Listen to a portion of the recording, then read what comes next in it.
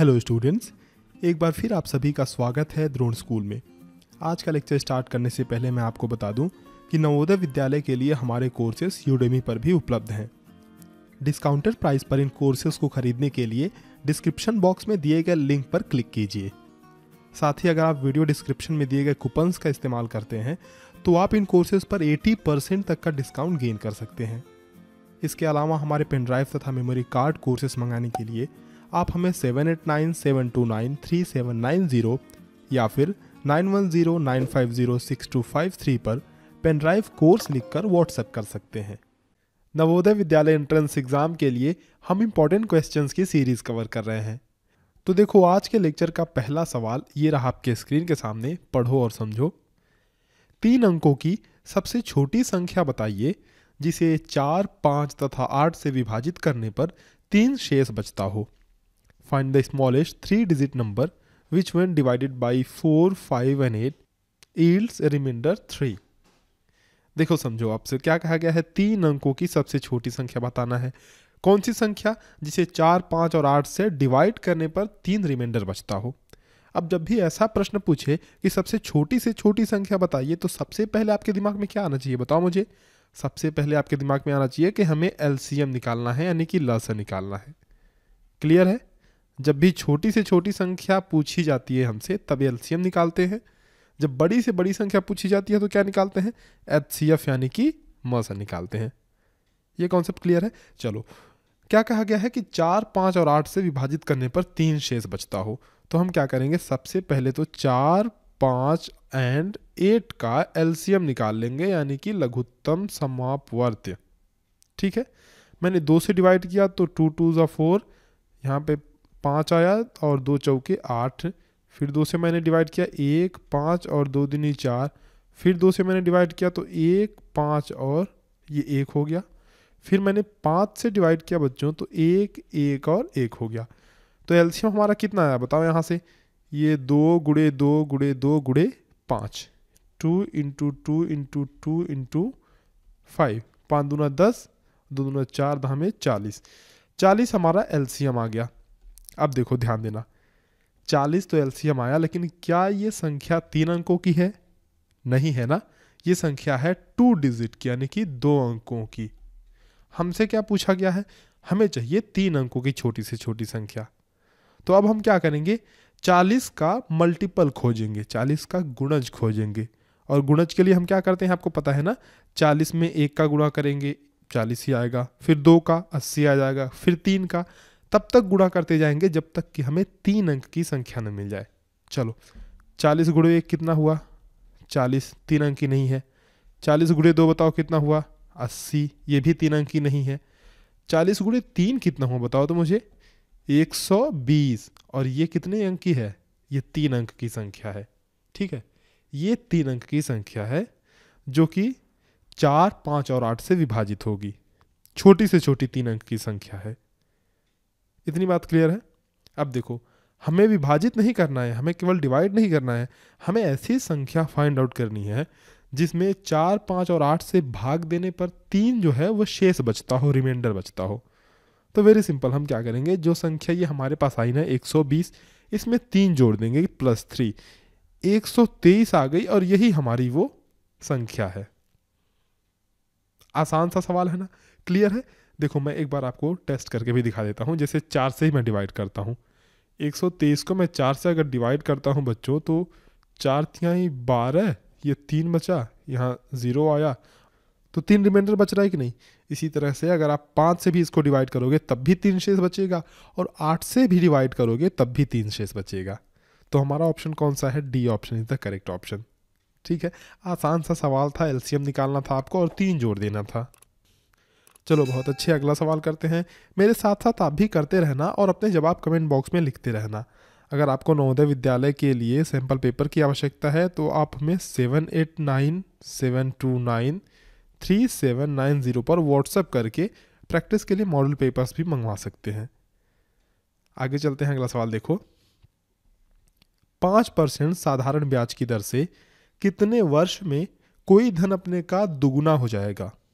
How many years will a money double of itself at the rate of five percent simple interest देखो, ऐसे सवाल को कैसे करते हैं ना? यहाँ पे हमें मूलधन नहीं दिया हुआ है। आप जानते हो बच्चों, ब्याज का फॉर्मूला क्या होता है? साधारण ब्याज का फॉर्मूला क्या होता है? बताओ मुझे। मैंने बताया था आपको पिछले वीडियो लेक्चर्स में, साधारण ब्याज का फॉर्मूला होता है P R T upon hundred P मतलब प्रिंसिपल यानी कि मूलधन। आर मतलब रेट यानी कि दर टी मतलब टाइम यानी कि समय P R T upon hundred यही सिंपल सा फॉर्मूला है साधारण ब्याज का। अब हमें क्या क्या दिया हुआ है सबसे पहले तो ये देखो। हमें दिया हुआ है कि कोई धन अपने का दुगुना हो जाएगा। यानी ये क्या है? ये मिश्र धन है कि कोई धन, मान लो हमने सौ रुपये जमा कराए और वही मनी वही धन जो है वो दो सौ रुपये हो गया। तो ये मिश्र धन दिया हुआ है और साथ ही साथ हमें रेट पता है। हमें मूलधन भी नहीं पता है। और टाइम ही हमसे पूछा गया है कि कितने वर्षों में ये दुगुना हो जाएगा। तो ऐसे क्वेश्चन को करने के लिए आप सबसे पहला काम क्या करना, आप क्या करना कि उस धन को सौ रुपये मान लेना। आप मान लेना कि माना कि मूलधन, यानी कि प्रिंसिपल जो था, वो था सौ रुपये अब देखो इससे फ़ायदा क्या होगा, मैं बताता हूँ। प्रिंसिपल आप मान लेना कि सौ रुपये है। अब हमसे क्या कह रहा है कि वो धन अपने का दुगुना हो जाएगा। यानी अगर मैं ब्याज को भी जोड़ लूँ, पाँच परसेंट जो साधारण ब्याज मिल रहा है मुझे, उसको भी मैं जोड़ लूँ तो ये धन हो जाएगा दो सौ रुपये क्योंकि सौ रुपये से बढ़कर दो सौ हो गया, यानी कि दुगुना हो गया। आई बात समझ में? ये बढ़ा कितना? पहले सौ रुपये था, मैंने बच्चों इसमें सौ और जोड़ दिए तो ये दो सौ हो गया। यानी सौ रुपये हमारा मूलधन था, और सौ मैंने इसमें ब्याज जोड़ दिया। क्या किया मैंने? सौ इसमें ब्याज जोड़ दिया, साधारण ब्याज। यानी कि सिंपल इंटरेस्ट हमने जोड़ दिया तो ये धन हो गया दो सौ रुपये अब यहाँ से देखो क्लियर क्लियर आपको बात पता चल रही है बच्चों, बात आपके सामने आ गई कि सौ रुपया हमारा ब्याज है। है ना? सौ रुपया मूलधन था तो सौ रुपया ब्याज भी है हमारा। अब सीधे से इस फॉर्मूले में आप रख दोगे और आपका आंसर निकल के आ जाएगा। देखो कैसे, साधारण ब्याज यानी कि सौ रुपये हमारा है। प्रिंसिपल प्रिंसिपल हमने कितना मान रखा था? सौ रुपये मान रखा था, देखो यहाँ से। यहाँ से ध्यान दो।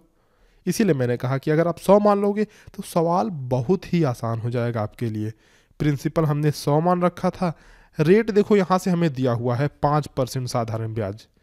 तो रेट हमें दिया हुआ है तो सौ गुड़े पाँच।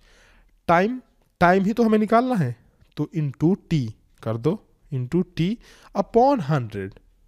अब देखो, इस वाले इक्वेशन में क्या ऐसी चीज़ है जो हमें नहीं पता है? टी यानी कि टाइम ही एक ऐसी चीज़ है जो हमें नहीं पता है, और यही हमें निकालना भी है। तो हो गया ना इक्वेशन बहुत ही आसान, सौ से सौ कट गया बच्चा, और ये पाँच इधर जाएगा तो भाग हो जाएगा। यानी कि hundred upon five is equal to T. Hundred upon five means ये हो गया बीस इज़ इक्वल टू टी। यानी कि टाइम हमारा निकल के आ गया बीस। बीस साल। यही हमारा करेक्ट आंसर है। कौन सा ऑप्शन है? D option is the correct one. यानी पाँच परसेंट साधारण ब्याज की दर से कोई भी धन अपने का दुगुना हो जाएगा कितने सालों में? बीस सालों में। कॉन्सेप्ट क्लियर है? कैसे हमने सवाल को लगाया? सबसे पहले तो हमने ये मान लिया कि भाई मूलधन सौ है। मूलधन सौ हमने माना, उसके बाद हमने ब्याज निकाल लिया कि ब्याज कितना आ रहा है इस पर क्योंकि धन दुगुना हो रहा था तो सौ में हमने सौ जोड़े तो दो सौ आया। तो जो हमने सौ जोड़ा, उसी को हमने माना भाई ब्याज है ये। आई बात समझ में ना? चलो, बहुत बढ़िया। अगला सवाल करते हैं। ये देखो अगला सवाल। यदि 38 मीटर ऊंचाई वाले एक चिकने वृक्ष पर एक बंदर एक मिनट में आठ मीटर ऊपर चढ़ता है, दूसरे मिनट में दो मीटर नीचे फिसल जाता है तो वृक्ष के ऊपरी सिरे तक चढ़ने में बंदर को कितना समय लगेगा? On a thirty eight metre slippery tree a monkey climb six metre in a minute and slips two metre in next minute how long will it take him to climb to the top of the tree देखो question मैं समझाता हूँ आपको। एक पेड़ है, एक ये पेड़ है, आपका जो बहुत चिकनाई वाला पेड़ है। मतलब ये पेड़ बहुत फिसलता है, ठीक है? एक बंदर, तुम्हारे जैसा एक बंदर। एक बंदर है, ठीक है? जो इस पे चढ़ता है। देखो, ये एक बंदर है जो इस पे चढ़ता है, इस पेड़ पे। अब होता क्या है कि ये पेड़ बहुत फिसलता है क्योंकि चिकना वृक्ष है तो बंदर पहले मिनट में आठ मीटर बच्चों ऊपर चढ़ता है। यानी एक मिनट में ये तो आठ मीटर ऊपर चढ़ गया। लेकिन अब क्या होता है, अगले ही मिनट में वो दो मीटर नीचे फिसल जाता है। यानी अगर ये आठ मीटर बच्चों ऊपर चढ़ा पहले मिनट में तो ये दूसरे मिनट में क्या होगा मुझे बताओ, दो मीटर ये नीचे फिसल गया। तो एक बात बताओ, पहले मिनट में आठ मीटर ऊपर चढ़ा, दूसरे मिनट में दो मीटर नीचे फिसल गया तो कुल मिला के दो मिनट में कितना मीटर ऊपर चढ़ा बताओ मुझे। दो मिनट में ये छः मीटर ऊपर चढ़ा, क्योंकि आठ मीटर चढ़ता है, दो मीटर नीचे आ जाता है। आठ में से हमने दो घटा दिए छः मिनट छः मीटर बचा। ठीक है? यानी कि दो मिनट में वो छः मीटर चढ़ता है। अब हर दो दो मिनट में छः छः मीटर ऊपर चढ़ेगा। सोचो ज़रा, हर दो दो मिनट में छः छः मीटर ऊपर चढ़ेगा। तो अगले दो मिनट में फिर छः मीटर और, अगले दो मिनट में छः मीटर और, अगले दो मिनट में छः मीटर और। तो ऐसे छः छः कितनी बार हम जोड़ें कि अड़तीस के करीब आ जाए। देखो, अड़तीस मीटर टोटल लंबाई है, इस पेड़ की टोटल लंबाई है बच्चों ऊंचाई। ये है अड़तीस मीटर और ये हर दो दो मिनट में छः छः मीटर चढ़ता है।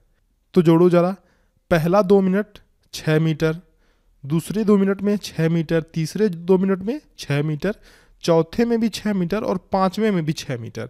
अब देखो बच्चों, यहाँ से ये छः मीटर चढ़ने में कितना टाइम लगा? दो मिनट। इसमें भी कितना टाइम लगा? दो मिनट। इसमें भी दो मिनट, इसमें भी दो मिनट और इसमें भी दो मिनट। और कुल कितना अभी तक चढ़ गया? बताओ तो मुझे। एक, दो, तीन, चार, पाँच। पाँच बार हमने छः लिखा है। यानी कुल मिला के अभी तक तीस मीटर बंदर जो है, वो चढ़ गया है। और टाइम कितना लगा? दो दो, चार, दो छः दो, आठ, दो, दस।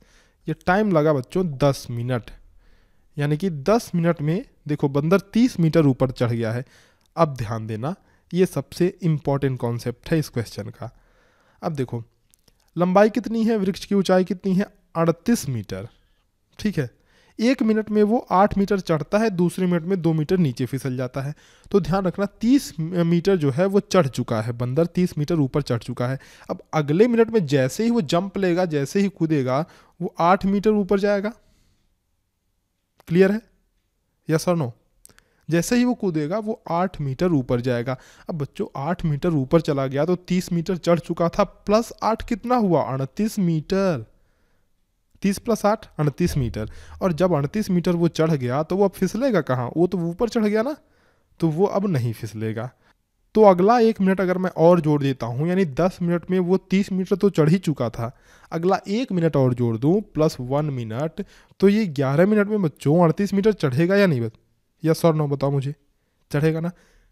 बहुत बढ़िया। देखो, यानी कि ए ऑप्शन ही करेक्ट ऑप्शन है हमारा। अगर आपको कोई डाउट है तो कमेंट सेक्शन में पूछना मत भूलना। और हाँ इस वीडियो को अपने उन सारे दोस्तों के साथ शेयर करना जो नवोदय विद्यालय की तैयारी कर रहे हैं। साथ ही ऐसे ही क्वालिटी कंटेंट रोज पाने के लिए इस चैनल को सब्सक्राइब करके बेल आइकन भी ज़रूर दबा लेना। बाकी हमारे पेन ड्राइव और मेमोरी कार्ड कोर्सेज तो अवेलेबल हैं ही। आप उन्हें यूडमी पर भी ले सकते हैं अगर आपको नवोदय विद्यालय की तैयारी करनी है तो। चलो आपसे मिलते हैं अगले लेक्चर में कुछ नए सवालों के साथ। तब तक के लिए अलविदा। धन्यवाद।